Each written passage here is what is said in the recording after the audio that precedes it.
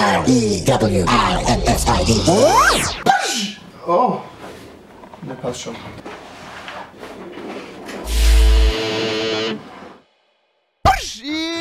Freunde, was geht? Herzlich willkommen zu dieser wunderschönen Folge von Minecraft Skywars. Hä? Aber Revi, es ist 12.30 Uhr, eigentlich sollte Craft Attack released werden. Ja, Leute, ihr seht vielleicht, dass ich mir gerade ein paar Gedanken machen muss und ich muss auch einfach mal ehrlich zu euch sein, Leute. Bevor ich aber jetzt ehrlich zu euch werde, zeige ich euch ganz kurz, was wir noch gebaut haben. Ist los mit deinem Leben, Alter? Zander, warte Ohne Witz. Zander, Zander, Zander, schau. Wie kann man so dumm sein, Alter? Nein, es Ohne war. Absicht. Zander, warte. Ja, genau, Absicht. Du kannst einfach nicht lesen. Da ist, da ist die kleine Insel, da, da ist sie. So, Zander, wie sagt man so schön, wer zu spät kommt, den bestrafe ich eben, ne? So ist mein, mein Spruch. Zander, was würdest du jetzt sagen, wenn ich dir die Insel wieder freigebe? Dann klatsche ich dir keine. Was willst Warte, du von unter mir? Gewaltandrohung, das geht jetzt nicht. Ich weiß, wo du wohnst. Du Ja, hast ja, mir nicht ist- gesagt auf Google Maps, wo ich dich Ja. finde. Und dann gibt's Backenfutter. Wenn du mir nicht einfach meine Insel jetzt Da wieder gibst. da drüben steht der, guck. Ah! So, ein Teil der Insel ist schon mal freigegeben. Wie ein Teil der, Der Insel. kleine Teil der Insel ist freigegeben. Digga, ich stehe auf einer 3x3 Insel. Da ist Ja, kein okay. kleiner oder Jetzt- großer Du Teil. kannst, du kannst es benutzen, du kannst es benutzen, ich hab's weggemacht. ja, korrekt. Wie hast du es gemacht? Jetzt Magie, kannst du wieder Digga, nichts mehr machen. Zander. Ich hab Macht über dich. Jetzt hast du dein Ha, Spawnpunkt bist du gesetzt. Admin, Alter? Nein, ist er Doch. Hä, du hast ihm nur die Rechte auf deinem Grundstück gegeben, der ist aber immer noch auf seinen Namen geclaimed.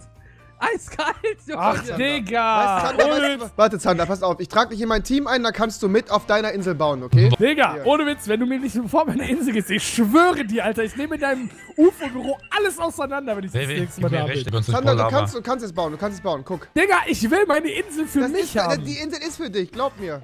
Junge, ich will die Rechte auf meiner Insel haben, für mich. Sonst baue ich die krassen Sachen und dann, dann nistest du dich einfach hier ein. Ich kenn dich doch. Zander, wir sind eine Allianz. Was sind wir? Rechte, ich brauche nur einen Lava-Eimer, bitte. Patrick, was willst du von mir, Mann? Hau ab, Rechte, Alter. rechte, ich will hier Lava-Eimer rausholen. Guck, Spark hat auch geschrieben, dann ist ja gut. Zander, nein, es ist doch, Doch, so. Spark hat doch gesagt, alles gut. Ja, aber ich sag nicht alles gut. Alter, ohne Witz, Revi, mir nicht auf den Sack. Ich nehme meine erste Folge Skyward auf und ich kann nichts machen. Doch, weil kannst einfach du. Ich meine hab dich doch in die Insel Ellie übernommen hast. hinzugefügt. Gibt deine Insel, claim sie schnell. Ja, ich hab die geclaimed. Nein, Warte hast mal. du nicht. Ich Komm, kann die nicht mehr claimen. Wie claim ich die? Du musst, du musst dein Team Auge. erstellen. Wie geht das? Revi hat schon wieder drüber geclaimed. Alter! Schmick. Ja, komm. Richtig auf den Sack. Gib mir einfach mein Grundstück wieder, Du hast dein bitte. Grundstück jetzt, Patrick. So, ja. Der Arme. Ohne Scheiß. Gönn ihm doch mal Grundstück, Alter. Was ist, was, sag mal, was ist in deiner Kindheit falsch gelaufen? Boah. Du siehst aus wie ein normaler Junge, bist aber kein normaler Junge. Zander, hör mal auf jetzt, okay? Bau Du- mal lieber deine Insel. So, ja. So, Kevin, lass uns zusammen eine Baumfarm bauen. Ich helfe dir. Ist das jetzt mein, das ist nicht mein Grundstück. Ja, du musst Junge, es Junge, das ist... Du, warte, warte, warte, warte, ich werfe Eier rüber. Warte, hilft das? Bevor ich aber jetzt ehrlich zu euch werde, zeige ich euch ganz kurz, was wir noch gebaut haben, Leute. Und zwar läuft hier meine Maschine. Ja, die läuft super. Mein Cobblestone-Generator, Alter, Leute, das geht hier steil. Zum geht nicht mehr. Ich habe jetzt diese Dinger hier noch drin, diese Double-Layer-Capacitator. Alter, Leute, schaut euch mal bitte an, wie dieses Ding immer weiter produziert. Es hört einfach nicht mehr auf, Leute. Es hört einfach nicht mehr auf. Ich weiß gar nicht, wohin mit den ganzen Materialien. Kevin, der Geisteskranke, hat es jetzt sogar bei sich so weit geschafft, dass er einen Autohammer und alles hat. Also das Ding läuft bei ihm komplett automatisch durch, meine Freunde. Das ist auf jeden Fall das Ziel bei mir für die nächsten Tage. Und dann geben wir jetzt endlich an Agrikraft und die ganzen Geschichten, die ich mit diesen wunderbaren Crops machen möchte, Leute. Denn wir haben ja dank Agrikraft die Möglichkeit, Diamanten und alles andere einfach aus dem Boden ganz natürlich wachsen zu lassen, meine Freunde. Und dementsprechend ist es gar kein weiter Schritt mehr bis zur kompletten Unabhängigkeit, bis wir uns eine riesige Energiefarm gemeinsam mit Kevin aufgebaut haben und so weiter und so fort. Des Weiteren habe ich heute ein paar Lootbags, die ich öffnen möchte mit euch, Leute. Ich habe hier einmal einen Epic Lootbag, einen Rare Lootbag, einen Uncommon Lootbag und einen Common Lootbag. Common Loot Black wahrscheinlich, oder Loot Black, der schwarze Beutel, genau der. Ich sortiere, by the way, gerade erstmal alles hier ein, meine Freunde, damit ich mir den Stress einfach spare, weil ich muss das Gravel einfach mal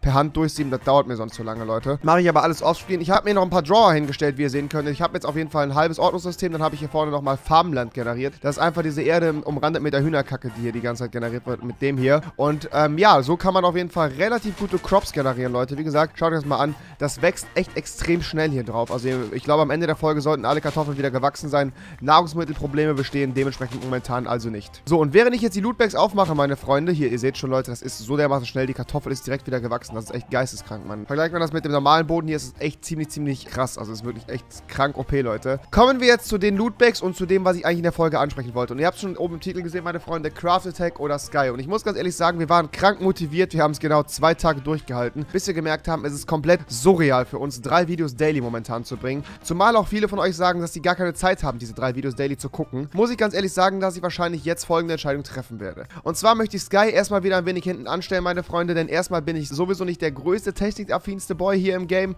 Ich habe auf jeden Fall Spaß daran, muss aber auch ganz ehrlich sagen, dass wenn ich keine sechs Stunden Zeit täglich habe, um mich mit dem Modpack zu beschäftigen, ich einfach hinten anstehe. Und genau das ist gerade der Punkt. Wenn man sich jetzt beispielsweise mal Kevin anguckt, Leute, der ist hier vorne schon so weit durchgerusht, der hat schon alles automatisiert, der hat da vorne rechts eine automatisierte Mobfarm und so weiter und so fort. Dementsprechend, meine Freunde, wird es dazu kommen, dass ich Craft Attack weiterhin täglich für euch hochlade, weil das macht mir einfach gerade unheimlich Spaß und ich habe einfach extrem Bock an der Revolution weiterzubauen, meine Freunde. Und Sky dann, wenn es kommt. Also Sky kommt dann, wenn es kommt, Leute. Kevin ist hier, wie gesagt, gerade schon mit dem Chicken Mod dran. Redstone wird auf jeden Fall von diesen Chickens gemacht und hier ist auf jeden Fall eine Kiste drin, Leute, wo ordentlich Redstone schon mal drin ist. Also bei dem Boy läuft auf jeden Fall. Das ist krank, Mann. Man kann diese Hühner nämlich einfach hochfarmen und die, ja, legen dann quasi Holz und alles weitere als ganz normaler Abfall quasi. Und ja, Kevins äh, Hühner scheinen die auf jeden Fall gut für ihn zu generieren. Das läuft auf jeden Fall. Habe ich mir auch zuerst überlegt, aber ich dachte mir dann, ja, wenn du das gleiche machst wie Kevin, ist das vielleicht ein wenig langweilig.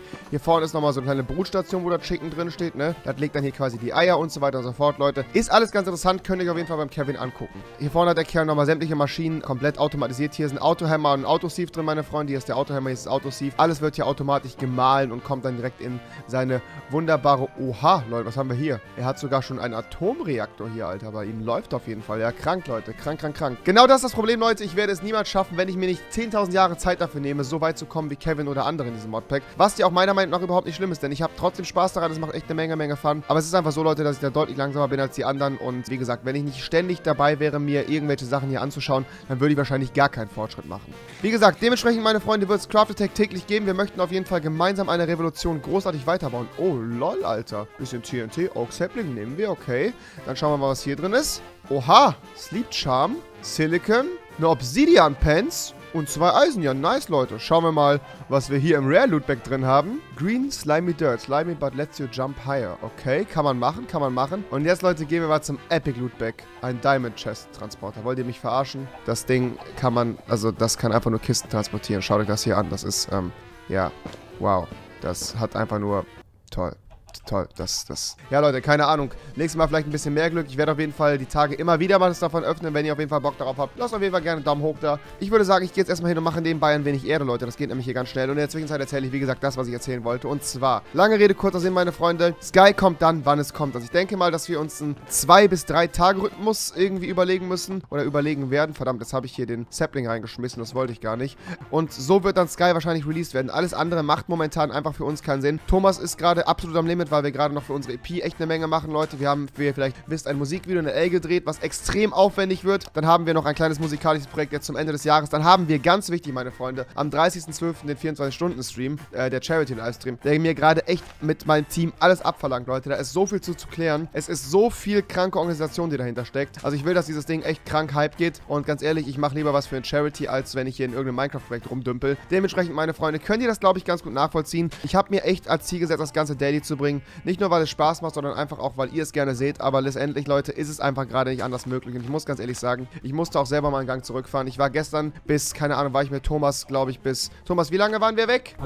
Bis 10.000 Uhr waren wir weg. Gestern Abend waren wir noch unterwegs, Leute, und haben noch einen Dreh gehabt. Dann bin ich direkt weitergegangen und habe an einem Musikprojekt weitergearbeitet und so weiter und so fort. Ich will mich jetzt hier gar nicht beschweren, nur ich möchte, dass ihr wisst, welchen Grund das hat, dass jetzt quasi Sky nicht mehr so regelmäßig kommen wird. Beziehungsweise für mich war es sowieso ein Projekt, wo ich gesagt habe, hey, ich mach mal mit und schau, wie es läuft. Es kommt echt super gut bei euch an, es macht doch echt eine Menge Spaß. Nur wie gesagt, Leute, seid mir nicht böse, ich schaffe es einfach nicht anders. Nichtsdestotrotz werde ich auf jeden Fall weiterhin am Server arbeiten und weiterhin immer wieder schön ein paar Sachen hochfarmen. Das heißt, es gibt in jeder Folge auf jeden Fall einen schönen Progress, meine Freunde. Da müsst ihr euch gar keine Sorgen machen. So habt ihr auch mehr davon, denn so passiert auf jeden Fall jede Folge etwas Neues und dann ist es auch nicht so langweilig, Leute. Denn wie gesagt, es ist echt eine Menge, Menge Arbeit für mich, sich in das Modpack reinzufinden und so weiter und so fort. Und zwei Minecraft-Projekte parallel zu haben. Ebenso gerade die Sache mit der Revolution, Leute. Das ist einfach so eine aufwendige Geschichte und da möchte ich eigentlich alles, was ich an Manpower habe, drauf verwetten können. Das wollte ich euch einfach nur gesagt haben. Wie gesagt, über Crafthack braucht ihr euch gar keine Sorgen machen. Sky kommt optional dann, wann es kommt, wenn ich Bock habe, Leute. Also es kann zwischendurch sein, dass ich über Weihnachten, wenn ich fleißig gewesen bin, gut vorproduziert habe oder es halt nur bei Crafthack bleibt. Das sehen wir aber dann, Leute. Macht euch dabei gar keine Sorgen. Wie gesagt, es ist alles so cool. Alter Schwede, jetzt ist hier schon wieder so ein riesen Baum generiert worden, Leute. Das hasse ich ja wie die Pest, ne, wenn diese Riesenbäume hier kommen. Auf der einen Seite ganz cool, weil man unendlich viele Blätter daraus bekommt. Auf der anderen Seite eigentlich extrem hässlich, weil diese Dinger halt überall rumstehen und man sie gar nicht von seinem Grundstück runterbekommt. Und ich kann euch jetzt schon sagen, dass es eine ekelhafte Aufgabe wird, diesen Baum komplett zu entfernen. Gottes Willen. Aber immerhin habe ich genug Dias, Leute. Also ich glaube, ich habe gerade noch, wie viele Dias habe ich gerade noch? Ich habe noch ganze sechs Diamanten. Ich habe den Rest schon für Werkzeuge ausgegeben, Leute. Aber durch meine automatische Gravel Farm hier vorne mit dem ganzen Zeug läuft das auf jeden Fall schon ganz gut. Das einzige Ziel wäre natürlich jetzt noch ein Autosief zu haben, so wie Kevin es gerade drüben hat. Das kommt aber dann alles noch die Tage. Wie gesagt, Leute, Fortschritt wird es hier auf jeden Fall massiv noch geben. So, dann packen wir den Rest mal hier rein, Leute. Und wie gesagt, meine Erdefarm, das funktioniert hier echt wunderbar. Kevin ist gerade auch schon dran, eine Baumfarm zu bauen. Da möchte ich ihn auf jeden Fall auch noch unterstützen. Heute Abend im Livestream wird es vornehmlich äh, Craft Deck geben, eventuell ein wenig Sky. Schauen wir dann einfach mal. Ich denke mal, dass wir auf jeden Fall heute Abend ganz, ganz viel an der Revolution bauen werden. Denn wie gesagt, Leute, das ist gerade mein Herzensprojekt und ich freue mich einfach darauf, im Januar ein richtig fettes Event gemeinsam mit euch daraus zu machen. Das ist so eine Sache, die ich mir gesagt habe, Leute.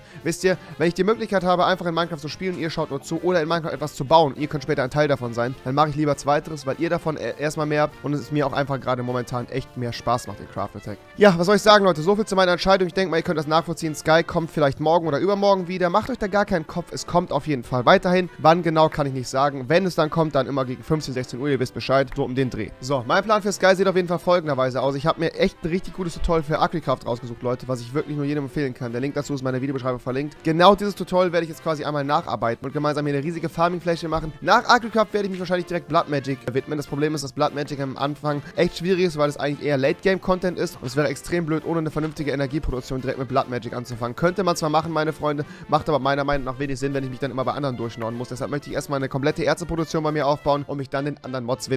Es gibt so ein paar Sachen, die ich unbedingt haben möchte, meine Freunde. Zum Beispiel einen eigenen Atomreaktor hier. Es gibt ja den Reactors-Mod, den wir hier drauf haben, den Extreme Reactors-Mod, der hier drauf ist. Da kann man auf jeden Fall echt eine nice äh, paar Sachen mitmachen. Dann würde ich mir auf jeden Fall echt gerne einen Jetpack machen, meine Freunde. Es gibt ja die ganz easy Jetpacks, die sind wirklich schnell gemacht. Das ist wirklich nicht so aufwendig, Leute. Das kriegt man eigentlich relativ schnell hin. Da brauche ich halt einen Alloy-Smelter für und so weiter und so fort. Den hat Kevin aber da vorne schon stehen. Das ist auch gar kein Ding. Nebst dem Jetpack möchte ich auf jeden Fall meine Insel ein bisschen verschönern und ich möchte mich auf jeden Fall an den Death Generator dran machen. Denn es gibt einen Generator, meine Freunde, der erzeugt Energie aus Tod. Und ich glaube, das passiert so, wenn ich ein Tier umbringe, wird daraus quasi Energie erzeugt. Ich habe mir ein ganz perfides Modell für eine automatische Chicken Farm damit überlegt. Weiß jetzt halt auch nicht, ob das so geil ist, wenn ich mit toten Hühnern Energie mache. Keine Ahnung, meine Freunde. Jetzt fällt mir auf, ich bin die ganze Zeit am falschen Sieb. Ich wollte eigentlich hier vorne als Iron Mesh, damit ich auch Dias rausbekomme. Das sind so ein paar Sachen, Leute. Wenn das alles erstmal komplett automatisiert ist, Leute, dann gibt es diese kleinen Fehler nicht mehr von mir. Da kann ich auf jeden Fall drauf wetten. Weil, wie gesagt, es war jetzt echt blöd, dass ich das da vorne das andere Sieb durchgezogen habe, weil so hatte ich halt die Möglichkeit, die ganzen Dias nicht zu erhalten. Das war ein bisschen dumm von mir. Aber wie gesagt, Leute, wenn das erstmal komplett automatisiert ist, müssen wir uns da keine Sorgen mehr drum machen. Ja, Leute, das soll es auf jeden Fall von dieser wunderschönen Folge von Minecraft Sky gewesen sein. Ihr habt auf jeden Fall gesehen, es geht auf jeden Fall echt gut voran. Kevin ist komplett am Ausrasten, die anderen sind ja alle am Durchdrehen. Wie gesagt, ich glaube, Debitor und ähm, Spark of Phoenix sowie Castcrafter, meine Freunde, die drei, sind hier 24-7 auf dem Server. Die machen die ganze Zeit nichts anderes. Dazu fehlt mir leider momentan die Zeit, aber wie gesagt, ihr könnt das komplett nachvollziehen. Ich kenne euch, meine Freunde. Ich würde mich sehr darüber freuen, wenn ihr trotzdem einen Daumen nach oben da lasst, Leute. Ich würde sagen, wir sehen uns heute Abend um 19.30 Uhr bei einem wunderschönen Crafting-Livestream. Die Revolution wird auf jeden Fall heute Abend gebaut werden und wachsen, Leute. Ich mache mich damit jetzt vom Acker. Macht's gut. Wir sehen uns heute Abend. Haut da rein. Bis dann. Ciao, ciao. Tchau.